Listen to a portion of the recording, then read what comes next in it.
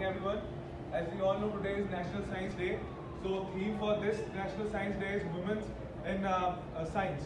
And uh, on 28th Feb every year National Science Day is celebrated so as to promote more of innovations, more of strategies in science and for remembering Mr. C.V. Raman who, who, has been, who has been awarded for a Nobel Prize uh, in 1930 for, and he was the first person to get Nobel Prize for science itself.